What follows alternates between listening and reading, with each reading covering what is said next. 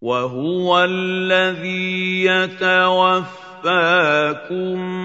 بالليل ويعلم ما جرحتم بالنهار ثم يبعثكم فيه ليقضى أجل مسمى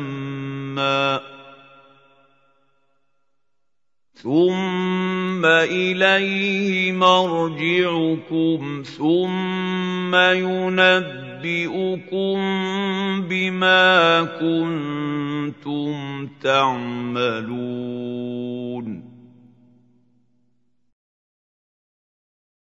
وهو القاهر فوق عباده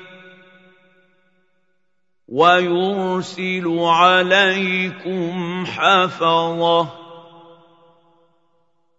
حتى إذا جاء أحدكم الموت توفته رسلنا وهم لا يفرطون.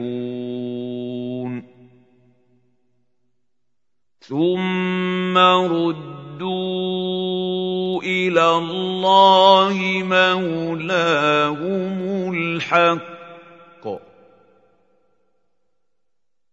الا له الحكم وهو اسرع الحاسبين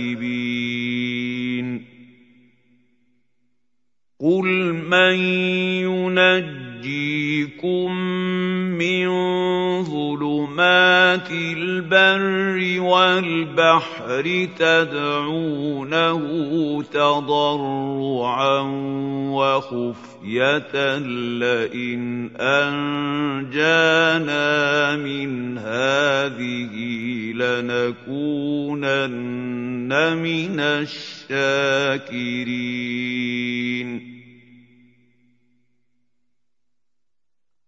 قل الله ينجيكم منها ومن كل كرب ثم أنتم تشركون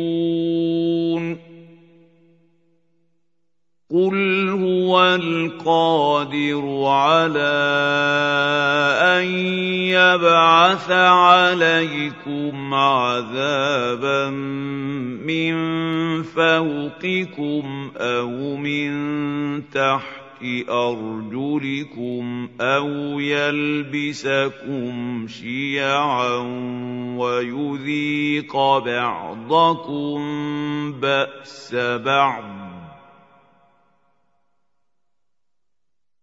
انظر كيف نصرف الآيات لعلهم يفقهون.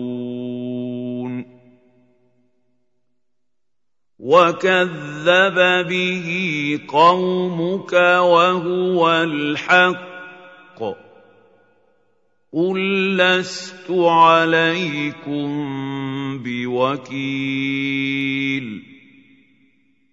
لكل نبأ مستقر وسوف تعلمون